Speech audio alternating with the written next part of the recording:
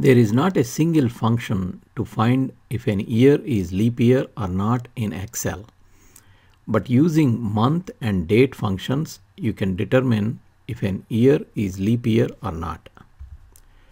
The example worksheet has year 2016 and year 2017 in F4 and F5 cells.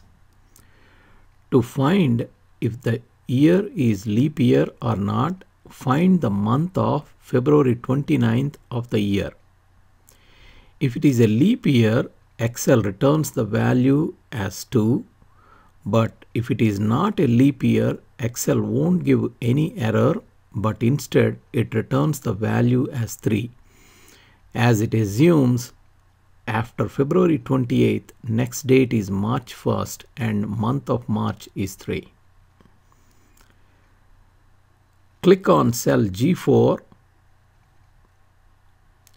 In the formula bar, type equal to the function month within parenthesis, the function date within parenthesis, cell F4 which contains the year 2016, comma, the month February month 2, comma, the date as 29th. Close the parenthesis, hit enter. You can see Excel displays the month number as 2 which means 2016 is a leap year. If you copy the formula to cell G5 using autofill handle, then Excel returns the value as 3 which means 2017 is not a leap year. You can also make it as a true or false by adding an if condition and validate against the value of 2. Add the if condition to check if the month returned is 2 or not. If it is 2, Excel returns value true, if not, false is returned.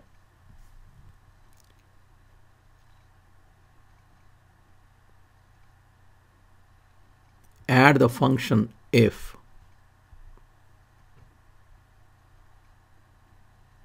and check for the value equal to 2.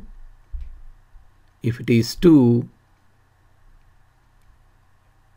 type the return value as true if it is not, false.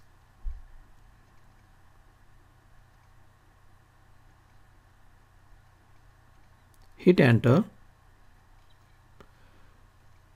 You can see for year 2016 true is displayed which is a leap year.